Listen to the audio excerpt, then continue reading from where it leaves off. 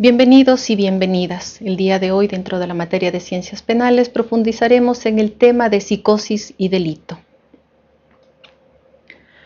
La psicosis proviene de la voz griega psique, que significa alma, y es aplicado a los trastornos mentales. La psicosis es una enfermedad mental que altera progresivamente el juicio de las personas y en muchos de los casos ellas ni siquiera conocen que están enfermas.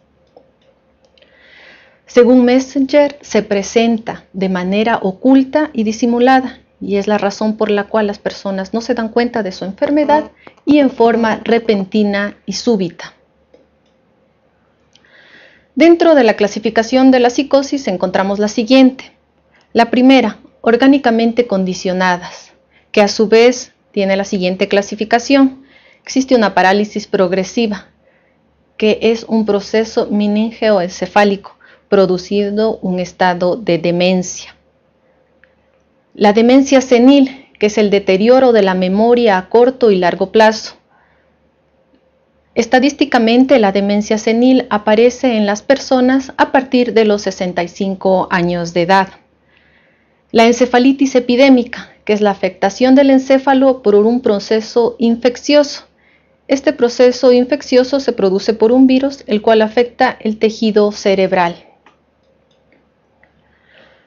Continuando con la clasificación, encontramos a la psicosis traumática, que son procesos mórbidos que afectan las funciones cerebrales en sí.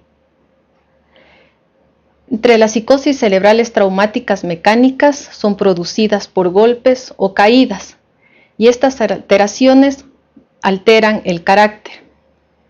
En la psicosis de reacción o psíquicas, las mismas que son producidas por traumas psíquicos o físicos.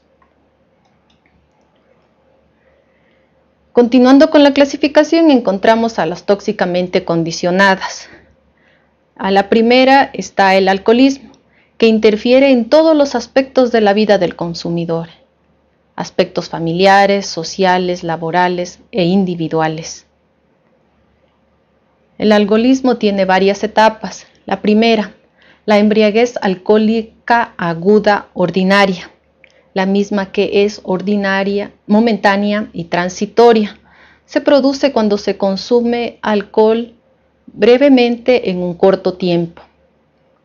La embriaguez patológica se presenta en individuos epilépticos, histéricos, esquizofrénicos, psicópatas o con trastornos mentales.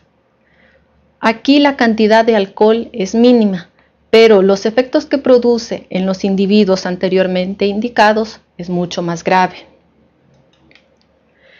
La embriaguez crónica es la costumbre de ingerir alcohol, es decir, es la costumbre diaria de consumir el, el alcohol. Dentro de la embriaguez crónica existen también unas tres subetapas que las podemos indicar a continuación. La primera, la dipsomanía alcohólica que es el descontrol y alteraciones del sistema nervioso. Es decir, el consumo produce esta primera etapa en el descontrol del sistema nervioso. La segunda etapa es el estado delirante, cuando ya la memoria sufre un gran deterioro. Y por último es el síndrome de Korsakoff, que se caracteriza por amnesia y apatía, es decir, la última etapa de la embriaguez crónica. Continuando con la clasificación de la psicosis, encontramos el marihuanismo. Es una planta que tiene propiedades embriagadoras, narcóticas y excitantes. Crece aproximadamente unos 2 metros dentro de climas secos y cálidos, la misma que se la introduce en un proceso de secado para luego consumirla. Dentro del marihuanismo existen tres etapas, las cuales son las siguientes. La fase eufórica, que es la agilidad física y mental, la alegría, es la primera etapa. La segunda etapa es la fase de saturación, que es el desequilibrio psíquico y violento. Y por último, la fase de éxtasis, que es la sensación de tranquilidad que produce al consumir la marihuana. La cocainomanía es producida por la cocaína, que es una de las drogas más adictivas y más potentes que existen. El uso prolongado o las dosis elevadas desencadenan en la paranoia. La cocaína es una planta originaria de los países de Bolivia y del Perú. Era utilizada antiguamente por los incas para aliviar cualquier dolor o para poder contrarrestar el frío y el calor. El proceso que ellos utilizaban era el masticado de la misma. La morfinomanía. La morfina se la obtiene del opio luego de un arduo proceso y, igual que la cocaína, contrarresta el dolor grave. Existen también tres periodos. El periodo inicial.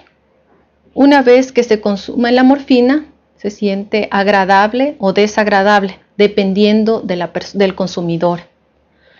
Luego viene un periodo intermedio, que es el de afianciamiento, que es el de adaptación a la morfina. Y por último o tercer periodo es ya la necesidad angustiosa de dependencia de la morfina. Continuando con la clasificación de la psicosis, encontramos las funcionalmente condicionadas. La primera, la epilepsia genuina o verdadera, la misma que es de origen desconocido. A la epilepsia también se la conoce como el gran mal, debido a las convulsiones que producen eh, a las personas que tienen esta enfermedad. La esquizofrenia es la demencia precoz, es decir, la distorsión de los pensamientos y sentimientos. Se la llama precoz porque existen estadísticas que a partir de los 10 años puede ya empezar a producirse una esquizofrenia en las personas. La psicosis maníaco-depresiva, que es el trastorno bipolar, va de la euforia a la depresión. Tiene trastornos graves de alegría a la tristeza. Muchas gracias.